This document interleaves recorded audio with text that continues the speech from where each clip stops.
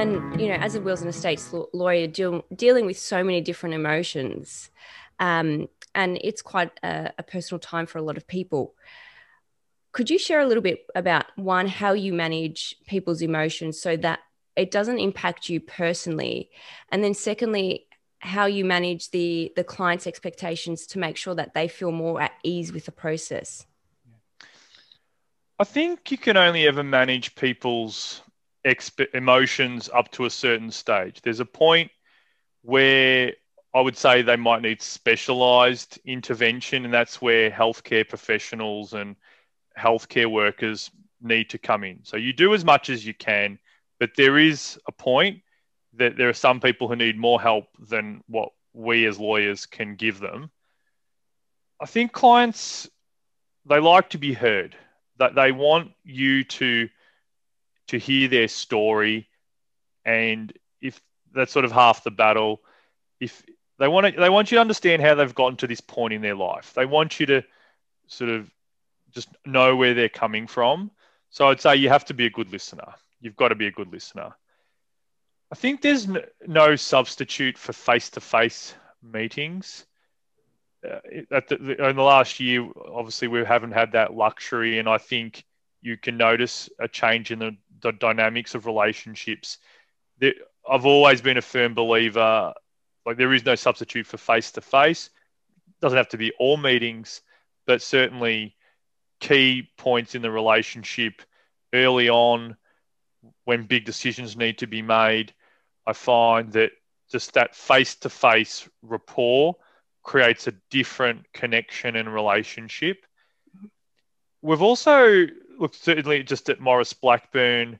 We've done a lot of training in vicarious trauma uh, training, and they've developed like an award winning training program for all staff. So it's not just lawyers, not just legal assistants.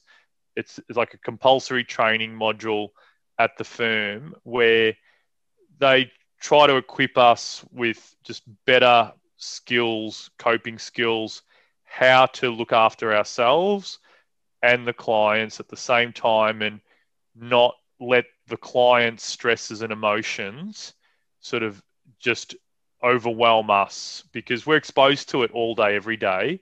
And if we allowed every client's emotions to sort of, you know, consume us, um, it would be pretty overwhelming. What do you do to you know help you not let your clients emotions overwhelm you? What do you do there one well one of the thing one of a little something that i've done for some time and the firm may not like this is that i don't actually have work emails uh, on my on my phone. And for years i've done that now. And I, just something so simple as there's nothing worse than say you know you're coming home from work you get that last email on the train that is something that you didn't want to have to deal with before you're about to come home to dinner to your family. And it, you, you wouldn't be present at home. You, you'd, you'd have these work would just always be you know mulling over. And again weekends are there for you to like for you and your family. Checking work emails on weekends, um, I, I just don't believe much good can come from that.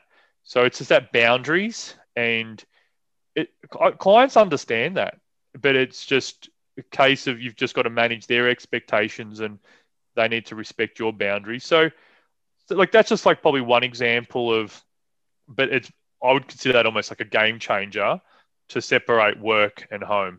Yeah, I think that's really good. And I think over the last week, we've been speaking about boundaries. I've been speaking about boundaries with uh, people in the team and even others. Um, and one thing to keeping, I suppose, mentally healthy is setting those boundaries because we're so we're connected more than ever before with social. So it's good that you've hmm. been doing that for years. At what point did you realize you had to set that boundary and say, look, I'm not checking, I'm not going to have my emails on my phone?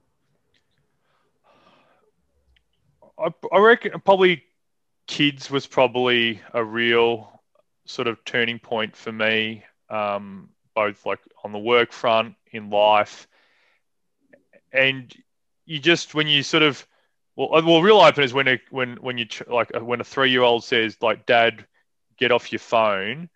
like, yeah, I don't think that like, that's pretty like confronting, really, when your own kids saying that. So th- that's a real eye opener, and you realise you don't have to be checking work emails twenty four seven. Mm. Um, and so I think kids kids was probably the for me the big biggest change.